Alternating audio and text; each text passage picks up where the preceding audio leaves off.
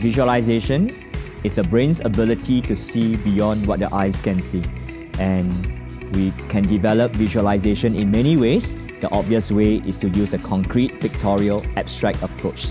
When students have a lot of experiences with concrete materials and extensive exposure to all kinds of visuals, that's when they develop the ability to visualize.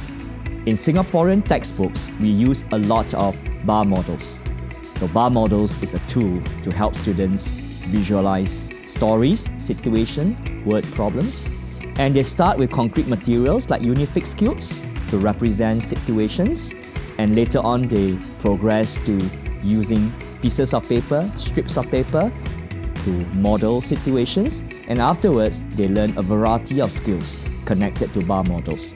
For example, they begin to move the units around, they begin to cut the units into more parts, so on and so forth. And as they progress from year 1 to year 6, they would cover a range of activities that are all designed to promote the ability to see beyond what the eyes can see.